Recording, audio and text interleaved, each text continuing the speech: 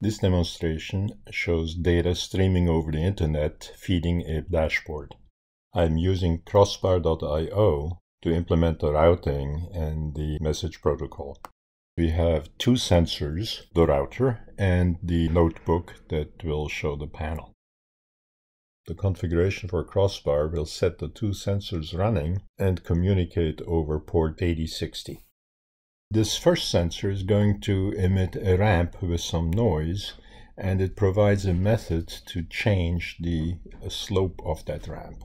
The method can be triggered either by a message or by a remote procedure call.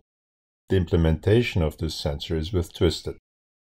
Sensor number two is straightforward. I needed to switch to async IO for the notebook and therefore it's implemented that way and all it does is emit a sinusoid with noise.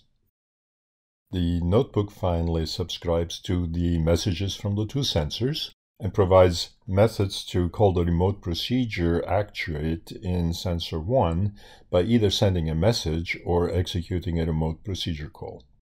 The command crossbar start sets the sensors running and I've provided an index.html page that allows monitoring the messages.